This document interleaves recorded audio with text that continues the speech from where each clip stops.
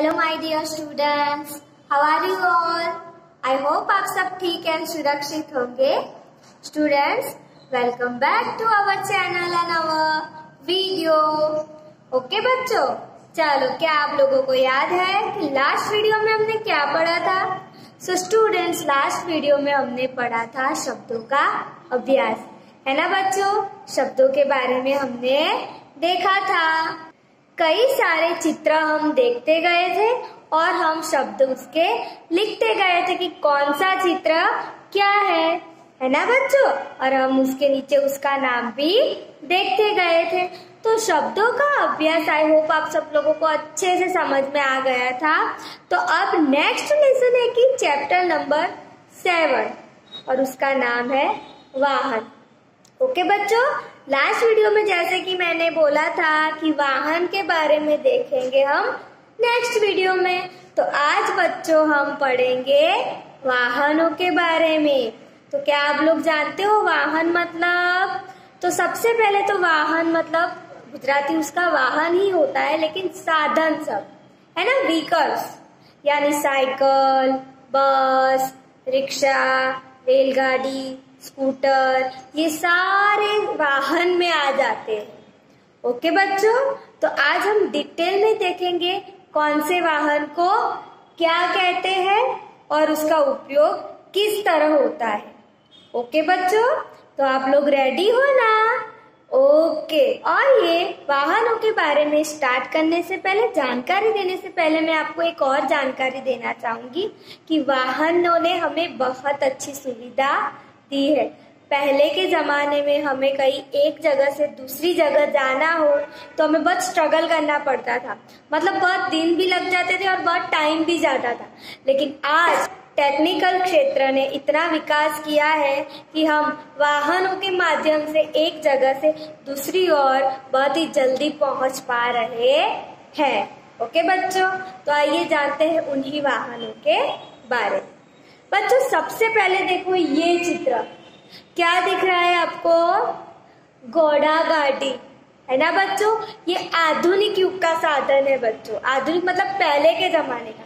कि पहले के जमाने में एक जगह से दूसरी जगह जाने के लिए घोड़ा गाड़ी का उपयोग होता था।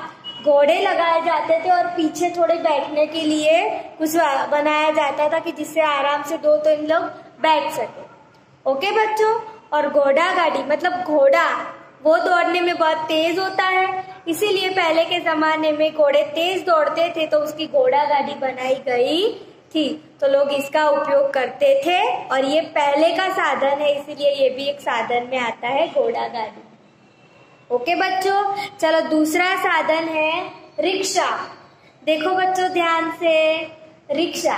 तो बच्चे, रिक्शा में दो तीन लोग आराम से आ जा सकते हैं। ओके बच्चों, हम रिक्शा का उपयोग करते हैं ना? यस बाहर जब हम निकलते हैं, कहीं हमें जाना हो तो हम रिक्शा का उपयोग भी करते हैं। दो तीन लोग आराम से आ जा सकते हैं रिक्शा में।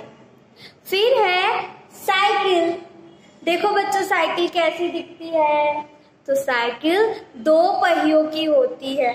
बच्चों, ये एक दो पहिए वाला साधन है कि जिसमें दो लोग सवार हो सकते हैं, एक चलाने वाला और पीछे कोई एक बैठ सकता है और कोई एक चलाए अपने आप से, ऐसी भी साइकिल होती है। सो so स्टूडेंट्स अभी तो बहुत सारे प्रकार की साइकिलें आ गई है, ना? गियर वाली, फिर वो उसके पहिए बहुत ही मोटे टाइप के होते हैं, वो, है ना?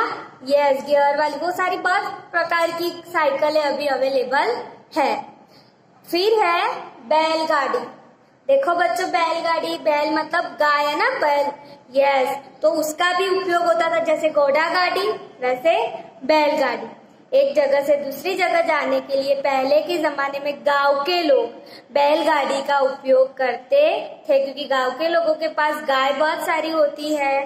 तो टाइम ज़्यादा ना जाए इसलिए वो गाय का उपयोग करते थे। गाय का उपयोग खेती करने के लिए भी वो लोग करते थे।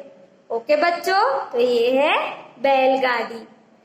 बच्चों, अब है स्कूटर। देखो बच्चों, आप देख सकते हो स्कूटर।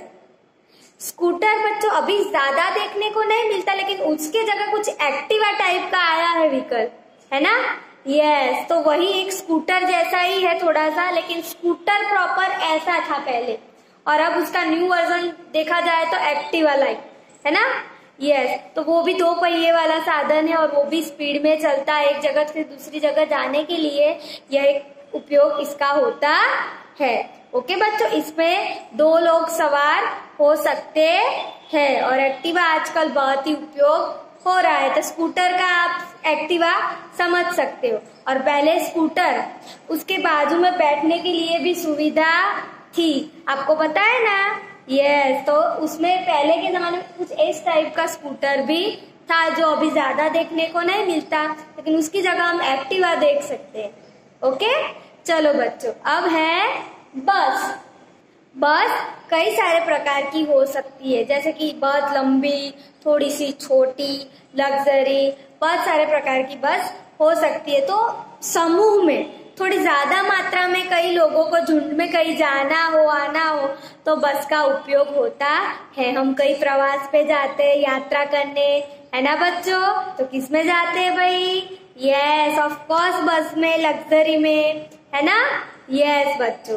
तो बहुत ज़्यादा प्रमाण में हमें कई, बहुत सारे लोगों के साथ कहीं जाना हो तो बस का उपयोग होता है। अब है मोटर। मोटर यानी कार, है ना? फोर व्हीलर यानी फोर व्हीलर मतलब चार पहिए वाली कार कि जिसमें थोड़ी फैमिली चार पाँच लोग आ सकते हैं और आवन जावन कर सकते हैं। ओके बच्चों? तो ये है मोटर कार की जो फैमिली के लिए अच्छी है। आप अपनी फैमिली के साथ कहीं हमें जाना हो तो इसका उपयोग कर सकते हैं, जिससे धूप भी नहीं लगती। है ना? पूरा पैक हो जाता है। यस फिर है ट्रक।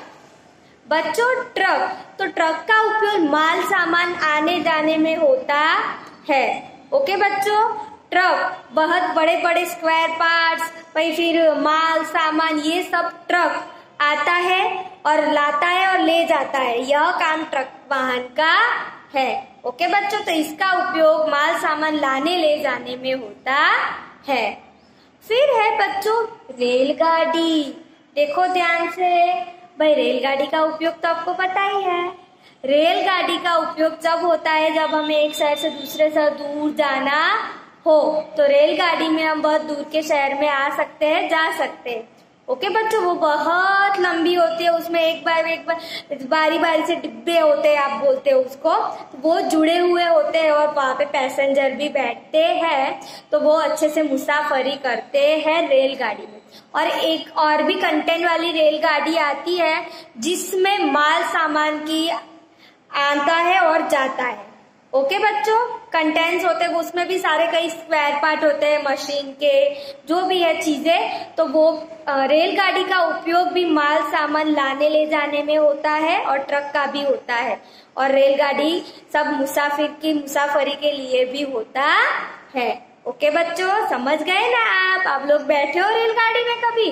यस तो आपने रेलगाड़ी तो देखी होगी और कुछ बच्चों ने नहीं देखी होगी तो वो यहाँ देखे कि कुछ ऐसे रेलगाड़ी दिखती है। ओके बच्चों? चलो, अब है हवाई जहाज़। भाई, इसका नाम ही हवाई जहाज़ है। हवाई मतलब हवा में चलने वाला। ओके पानी का जहाज़ होता है, वैसे हवा वाला जहाज़। ओके बच्चों, कि प्लेन, एरोप्लेन, विमान। है ना?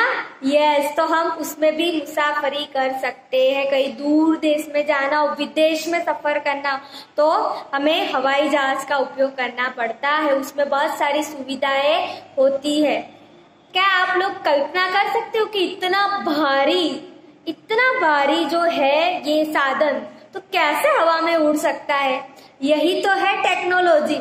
है ना बच्चों, की टेक्नोलॉजी का आजकल कितना ज़्यादा विकास हुआ है। यस तो हवाई जहाज़ यानी विमान में भी हम मुसाफरी कर सकते हैं एक जगह से दूसरी जगह दूर देश जाने के लिए। ओके बच्चों? तो आप समझ गए? आज हमने कितने साधनों के बारे में देखा? तो हमने घोड़ा गाड़ी, रिक्शा, साइकिल, बैलगाड़ी, स्कूटर, बस, मोटर, ट्रक, रेलगाड़ी और हवाई जहाज़ के बारे में देखा और उन सभी के बारे में भी हमने जाना कि किसका किस तरह उपयोग होता है। है ना बच्चों? पहले के जमाने से लेकर आज के जमाने तक कौन से वाहन का क्या, कैसा विकास हुआ है, कैसे उपयोग होता है, वो हमने जाना। ओके बच्चों? तो वाहनों के बारे में जानने में आई होप कि आप सबको बहुत मज़ा आया होगा। ओके? और आप लोग समझ भी गए होंगे। तो बच्चों ये लेसन आपको अच्छे से अच्छे हैंड से लिख लेना है और अच्छे से याद कर लेना है। Thank you